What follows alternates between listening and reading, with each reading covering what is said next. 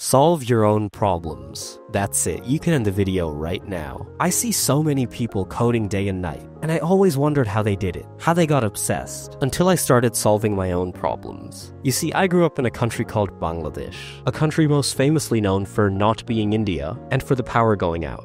So, whenever I was coding and my computer shut off, I dreaded having to set up my entire environment all over again, even though at the time it was just four applications. So, I got obsessed with making a script that does just that simply opens up my development environment. And learning Bash and the Unix command line was an afterthought. And in turn, whenever I faced a problem, I just learned whatever I wanted to to fix it, like fixing the CI pipelines at work because for some reason they wouldn't properly print out logs. That helped me learn basic DevOps or learning Vim key bindings because my wrist started to hurt from using the mouse. Solve problems that impact you. I promise you'll get obsessed. Thank you for your time. I am Big Box.